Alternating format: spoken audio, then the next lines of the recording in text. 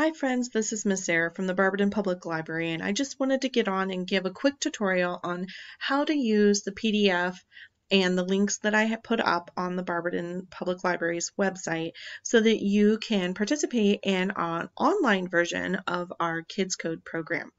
So I don't know if you remember, but the last time that we met was all the way back in March and we did some drop block coding and used Angry Birds to learn some basic programming skills.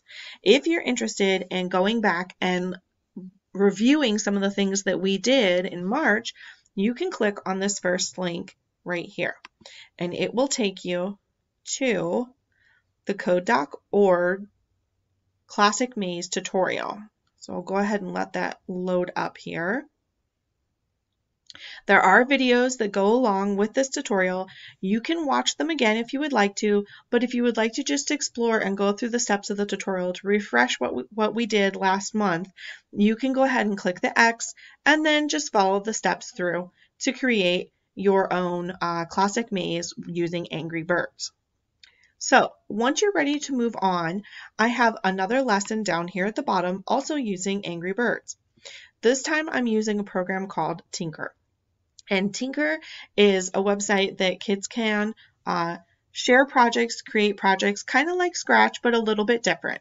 Um, so you can go ahead and click on this link here, and it's going to take you to this page that I have marked, which is the Angry Birds games and apps that are created by um, all the members of Tynker's community.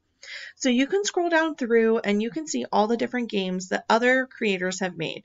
Um, kids, students, adults, anybody, they can create their own game or app. And this one is using the um, programming in Angry Birds. So I think you can click on up to five of them. You can click play and view the different games and see how they're set up. And if you like what you see, you can go ahead and take a tutorial so that you can learn how to create your own. If you go back to the PDF on the library's website, there's another link here that will take you through the Grumpy Cat tutorial. And don't worry, it's not just Grumpy Cat, it's also Angry Birds. So this link will take you to tynker.com and it's going to take you right to the tutorial and it'll load up. You won't have to sign in or anything to get through it. So this is what it looks like when you finally get in. It'll say Grumpy Cat right here, but it's using the same coding and physics involved in the Angry Birds, the classic Angry Birds game. So when you scroll down right here, you'll be able to see all the different concepts that they're going to talk about, and you can click the next button whenever you're ready to move on.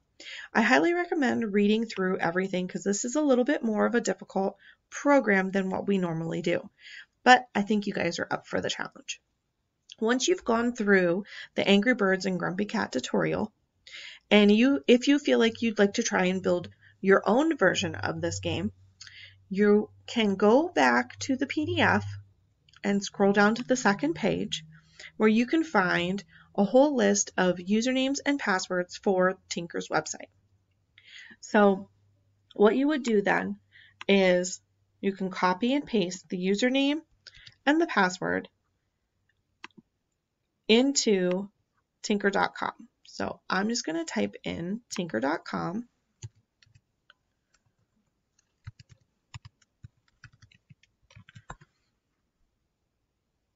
And as you can see, this is their main page. You can click sign in up here at the top. Because you're a student, you're going to go ahead and click on the student tab and it's going to give you a place that you can sign in.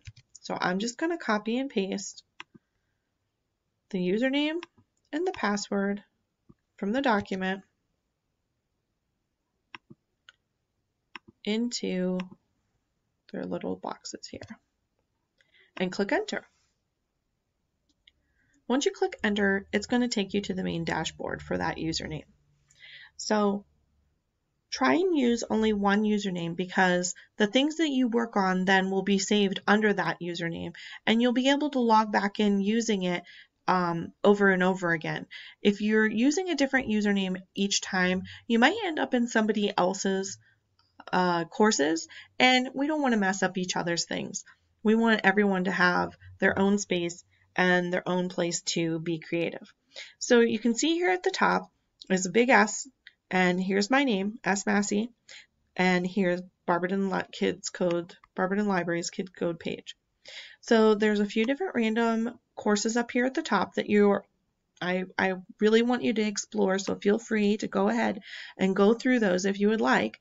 But down here at the bottom, if you're interested in the Angry Birds, you can go ahead and click on one of these ones and hit start, and you can remix the game and make it customized to whatever it is that you would like to, for the game to show.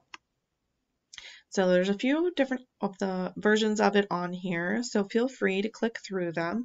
And like I said, because you're logged in under a username and password for BPL Kids Code, all of your information, um, uh, the creations for the games will be saved.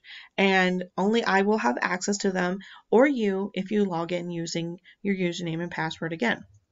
If you have any questions, please feel free to let us know and I will try and share some of the things that I've seen you guys create maybe within the next week.